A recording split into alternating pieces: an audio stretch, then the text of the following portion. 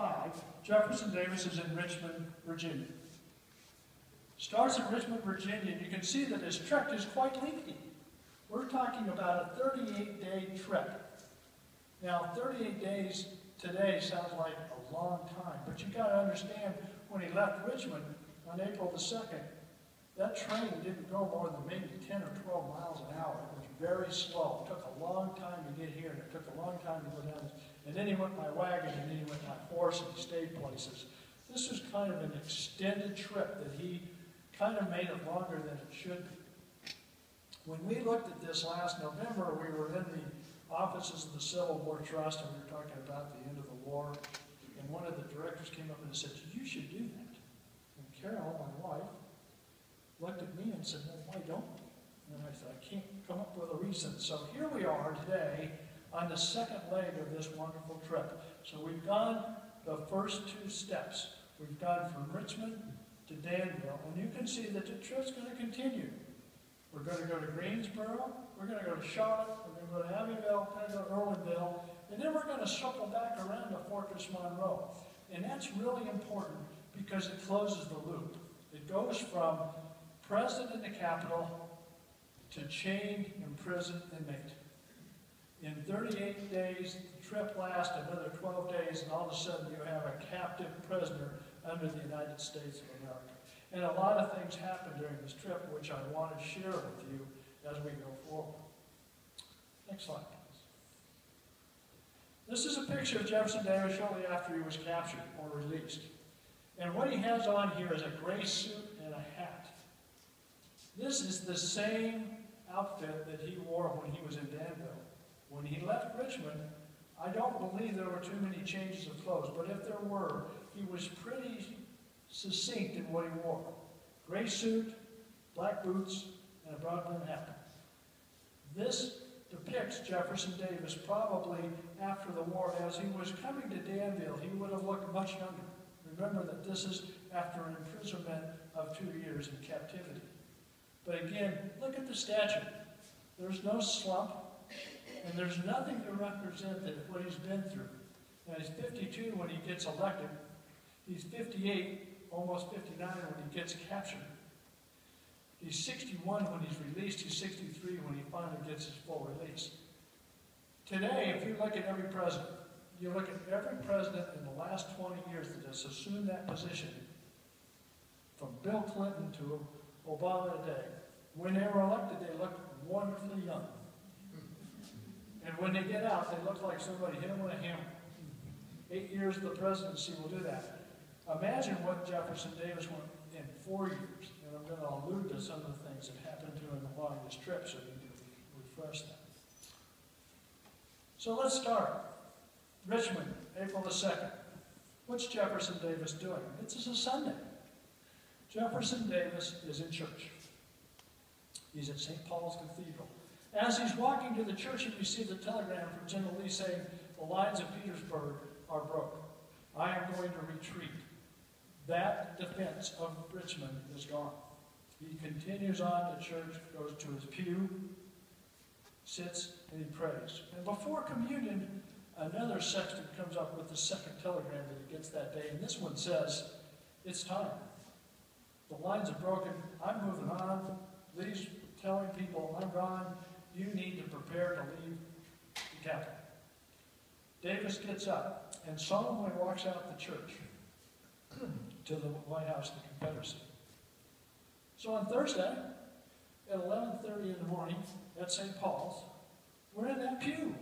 I'm sitting there at the same time that he was. There were 600 people in that church reflecting on this moment. It was not only about the moment, but it was about Richmond. But how many people here have the opportunity to go somewhere where your descendant was 150 years ago and sit in the same place on that historic moment? meaningful. But what did it tell me? What did I feel? The first thing I felt is that what was the most important thing to him that day? It was his religion. It was his allegiance to God, his thankfulness to God for everything that God had given him. That's an important characteristic of Davis that a lot of people miss. They want to construe him as something that's nasty and, and, and evil and whatever, not knowing that he is a devout Christian that has a strong religious background. And he was not going to let the movement of the Lord get in, in the way of his worship service at St. Paul's. So we get up and we leave that church, and where do we go next? Well, Richmond in 1865 looks a lot like this. St. Paul's is there, it's dirt. He goes to the White House of the Confederacy, and he's starting to move things. Now, somebody's going to ask, hey, well, what's, what's his family doing? Is he thinking about them? Well, he had thought about them. Matter of fact, they had come through here four days before that. He had taken his wife and their four, five kids, I'm sorry, five kids, and put them on a train so they would be safe from all this that's coming. And they've come through here, to Greensboro, almost to Charlotte by now. And so they're on his mind, but he's given them that release. So they're not going to be attached to him no matter what happens. Again, the fear of capture and whatever comes along. And one of the things that he tells Varina is he gives her a derringer. And he says to her, if you need to use this, do so. What did he mean? Not to shoot the guy that's going to capture him, but to take her own life to protect her from those evils that might portray the First Lady of the Confederate States of America. So they're left. So he's not so much concerned about that. He goes to the White House and does the last minute items that he's trying to protect from the White House. Meanwhile, the train's being loaded. It's supposed to leave at like 6. It doesn't leave at 8. It doesn't leave at 10. It leaves sometime after midnight. And this is not a very big train. But it's got the treasury in it. It's got all these records in it. It's got books. It's got all the stuff that they wanted to keep. Because remember, if you're elected president, you're a president until there is no presidency. Either you pass it on to the next successor, or you're president until the country fails to exist. Davis does not ever back off from the responsibility given to him by the country that he represents. Everyone says, well, you know, it's over. Not to him. It's not over until it's over, in a lot of respects. And if you look at presidents, that's what they should do. Now, you see this today when you see these dictators' flights, and you see all that. Dictator's a little bit different than an elected president of the country. But Davis also has a historic belief that's inside of him. He has this strength that he's going to say, I am president, and I'm going to remain president. I'm going to represent the country that has been given to me long before, after I leave. So he goes to Richmond. They leave Richmond on the train. Next slide. And this is the locomotive that pulls the train. Now, I'm sure you all have done some, heard something about the railway back in this day and age, but it wasn't great. matter of fact, it was, you could sometimes walk faster than the train could go. And it took a long time to get here. He got here, I think, sometime in the early afternoon. He didn't leave until, so it's not going very fast, but the train does finally get to Danville. He does get off and go up. And gracious, the city of Danville's gracious. They open up the city to him. The Sutherlin say, please come stay our house. And so he does. The cabinet comes along with him. They have several meetings in the Sutherlin house. And Danville is one of those exceptional places it's always been termed the last capital of the Confederate States of America because it was the last time that the entire cabinet met, or that, that remnant of it. Greensboro could probably say that, and so can Charlotte. But for Danville to say that, I learned that when I was here last in the 80s, I've always maintained that Danville's the last capital of the Confederate States of America because you all have coined that phrase. I don't want to change something that I believe is here. As he is in Danville, though, he gets bad news.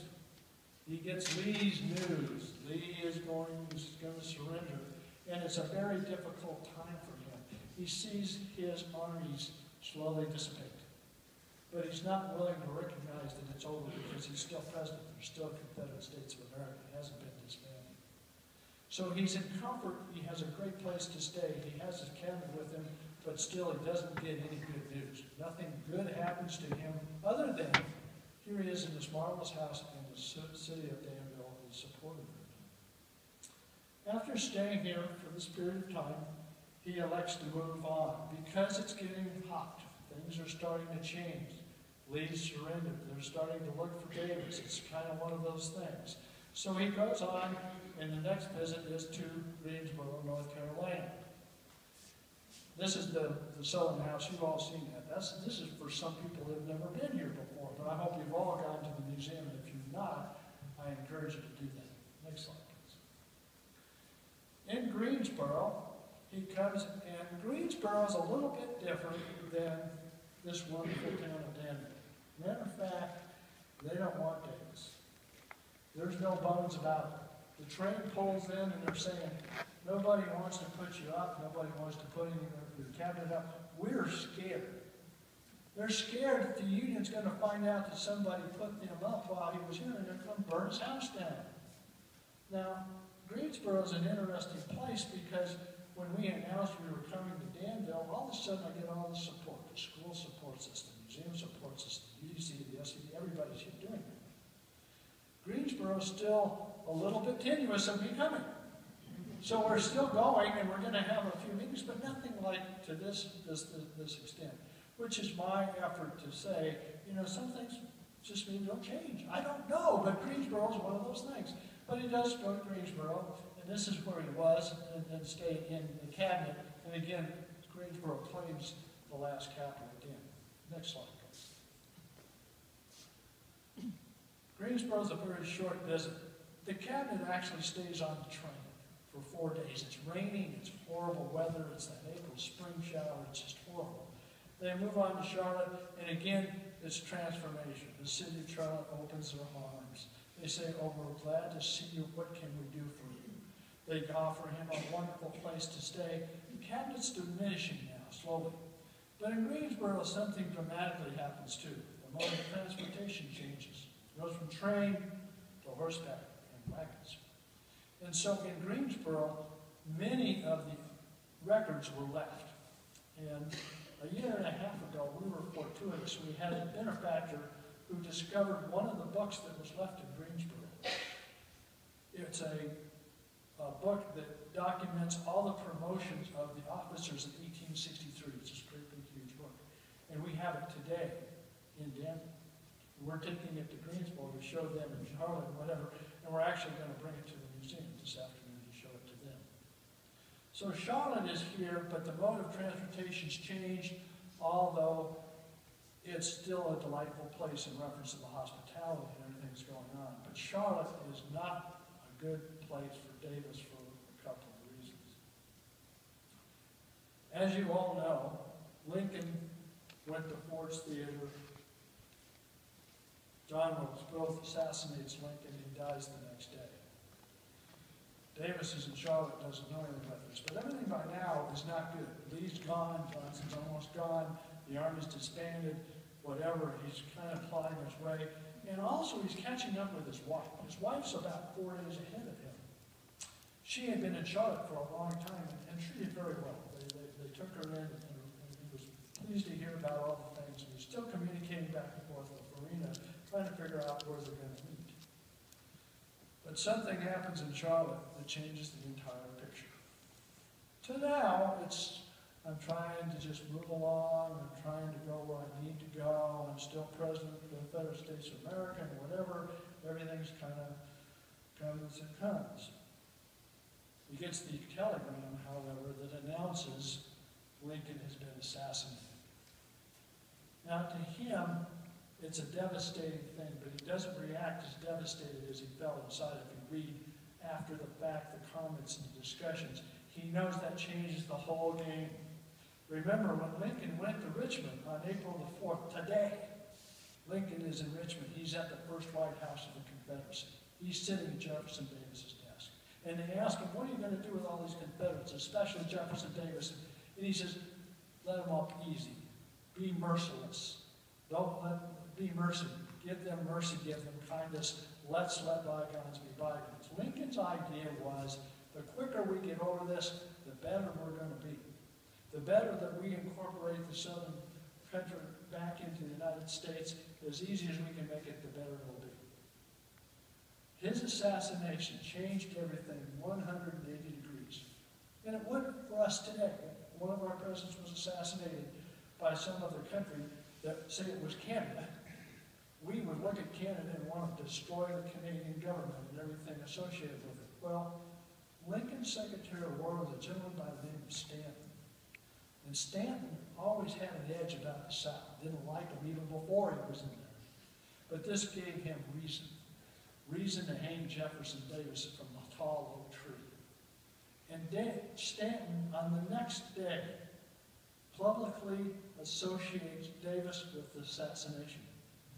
The Northern press grabs it up, and for weeks after this event, even to the point of a month, they're running front page articles saying Jefferson Davis is responsible for the assassination of Abraham Lincoln. So what happens to Davis in the viewpoint of the North? He goes just a flighting president to what? The most wanted man in America. $100,000 wanted for the assassination of Lincoln. No truth to the deal. Nothing at all. Matter of fact, there's four or five people in Washington, D.C. that are saying, yes, we were in Montreal and we saw telegrams and we saw letters and all this, and they're making all this up. They're feeding the press. The press is not checking any of this. Remember the frenzy to get rid of everybody that's associated with this assassination is just running out of control. It's just, it's almost as though when we had 9-11, do you remember the anger? And everybody came together and we were going to do this. This is the same thing, but it was all coming from the media.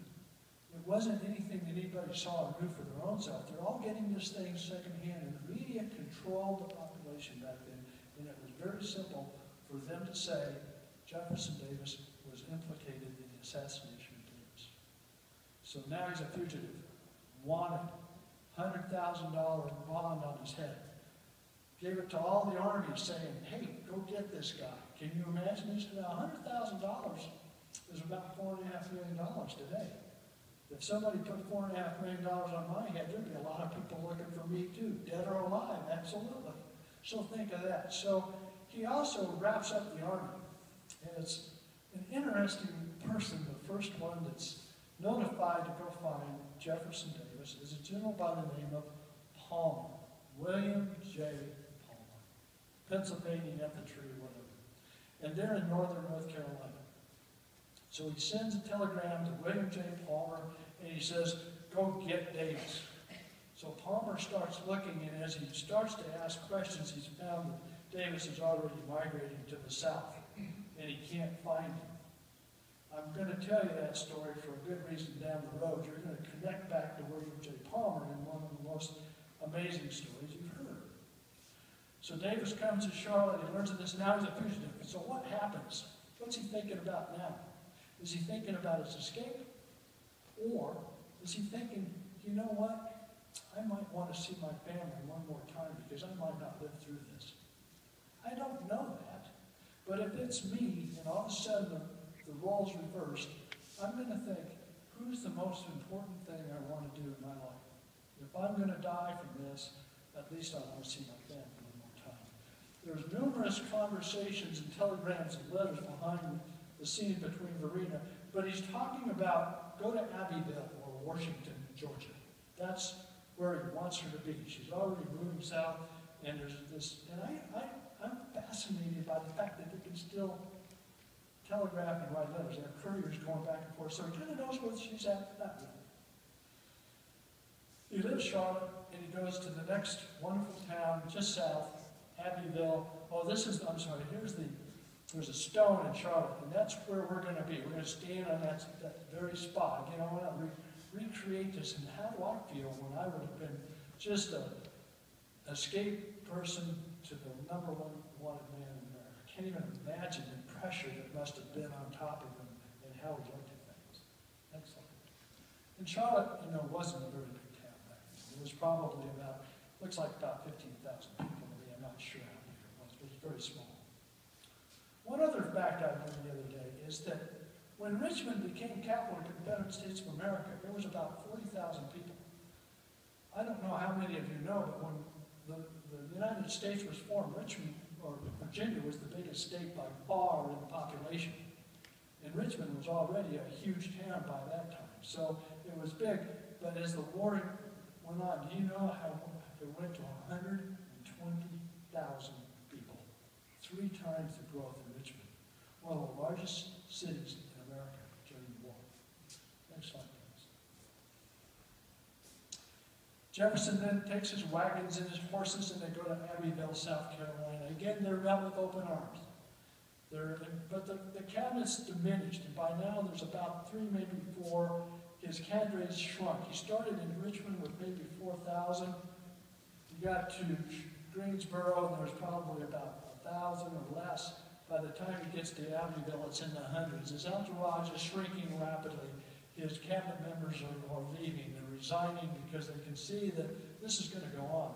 This isn't stopping. And everybody asks me, you know, Davis was a slight man. He was six foot tall. But how much did he weigh? Maybe weighed 160 at his best. If you turn sideways, you'd miss him. But he had ridden horses every day of his life. Remember, in his childhood, he went from Mississippi to West Point. He went from Mississippi to Wisconsin. When he was about 12, his father set him on a horse with one slave from Woodville, Mississippi to Lexington, Kentucky. As a matter of fact, Samuel, his father, didn't tell Jane that he'd been gone, and Jane's looking around for him for about three days and finally asked him what happened. Well, I sent him to school. Where? Lexington, Kentucky. Now, mothers, can you imagine that happening today? He was 10 children, but it's one of those phenomenal stories. So he was used to this. This is nothing to him. This trip is like you and I walking across the street to get a cup of coffee at Starbucks. This is what he's used to be doing. Abbeville again, next slide, if you would. This is where he stays, the Burke, uh, Burke Mansion. We're going to be there in two, two days. And we're going to see Charlotte, and we're going to be able to, I mean, Abbeville, and see this wonderful town. They also have a, a, a program planned for me to tell about the flight. Now, Abbeville is a very key point because now he's escaping He's changed his realm. He says, look, I've got to get rid of this stuff. I mean, you've only got rid of a lot of Gainesville and Charlotte, but now I've got to figure this out. So from here, all I had to do is to turn. Go to the water, get on a boat, and be gone. No. Again, remember what I told you. Once this most wanted came around him, he then wanted to see his family one more time. So he's after them. He's chasing them. And they're ahead of him. And he's looking for them. Now, they've been to Abbeville. He stays in Abbeville for a few days, and then he starts his trip. And he continues south. Next slide. To Irwinville, Georgia. Now, the day before he gets to Irwinville, he meets his family in Washington, Georgia. They all get together. I'm reading these things about how this happens. And it's not a plan. There's nobody sitting there saying, I'm going to meet you here at this time. They're not texting one another. They're not cell phoning one another. Not, there's no communication. So when I look at this, I say, what, what is it that happened here? Well, Davis wanted to see him. Varina wanted to see him. They're both of this. So, you know, God probably interceded and said, this is the time that we're going to let you get together. We're going to let you see your family one more time before what's about to happen is going to happen. I'm a very religious person. I believe I'm standing here because God gave me the last name and the ability to speak. And I can't write. My wife wants me to write a book. If we do, none of you are going to read it. But she might write it and you might read it. But I can talk about Jefferson Davis from the viewpoint of what I see. So here he is with his family together, all together, all kids, his wife, and they go to Irwinville, Georgia that night, and they set up camp The very next morning, early in the morning, the Union cavalry, the Michigan and Wisconsin cavalry show up, and there's a, a bright, brief firefight, and they're actually shooting at one another. Finally, they call that off. They come in, and Davis hears the commotion and comes out of the tent. As he comes out of the tent, it's one of those kind of dewy, moist May mornings. Not really cold, but just damp. Varina throws the shawl around his shoulder to protect him. And he walks out of the tent. He's walking away, and he's stopped by a Union on a horseback saying, who are you, or whatever the case. And at that point in time, he's recognized as President of the Confederate States of America. Now, Davis, remember, is a military man. He went to West Point. he was in Black Hawk Wars, he was in War of 1847, the Secretary of War. He knows how to defend himself, and he's about to do that. And Varina rushes in between him and this Union soldier for fear that Davis is going to try to defend himself, and the minute he does, he's going to be dead. And the only reason that he's not dead is that he had met his family the day before, and Varina was there to protect him from his own best interests. Else, you would read today, Jefferson Davis shot in Irwinville, Georgia. I'm, I'm guaranteeing that would have been the headline, but it wasn't. He's captured in Irwinville, Georgia. The Michigan and the Wisconsin, and it's, it's ironic the stories that come out. Remember, he's already been attached to the wonderful assassination of Lincoln. He was there in, in, in Fort Theater while he was on his trip, uh, obviously, according to that. But now, he's got another thing he's got to live by. The depiction of Jefferson Davis when he's captured, and I'm going to show you some of the political cartoons here in a minute, that were demonstrative in reference to trying to reduce Jefferson Davis to a frail, insignificant, afraid person. Because that's the only way they could do it. They wanted to demean him. Next slide. He's taken from there, the whole family's taken to Macon. They get on a boat called the Savannah, they're down the river, they go up to Fortress Monroe. Now, one thing that happens at the capture that you don't know about is I mentioned there's five kids. There's four of his family, and there's an adopted